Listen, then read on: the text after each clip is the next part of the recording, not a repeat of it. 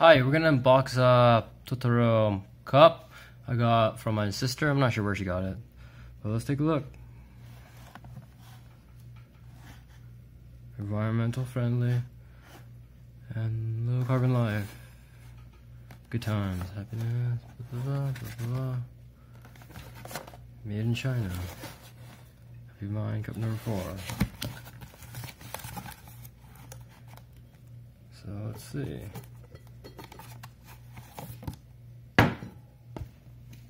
So that's all that's in it. And there's a cap. So look at the cap. The Totoro does come off. There it is.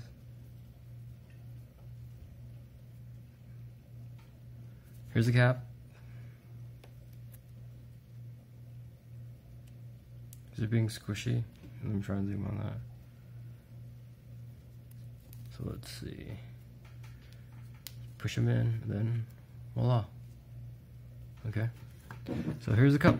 My neighbor Totoro.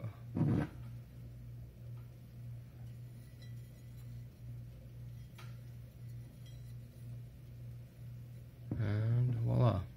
There's the inside, nothing inside. And there's a cute Totoro on the bottom. Look at that. And here it is when you close it. So it's vacuum sealed, I think, so you do that. If you let go, see. So if you leave it liquid in, oh yeah, there's a Totoro right there. I didn't see that. That's cute. So yeah, that's it. Okay. Thanks for watching. Peace.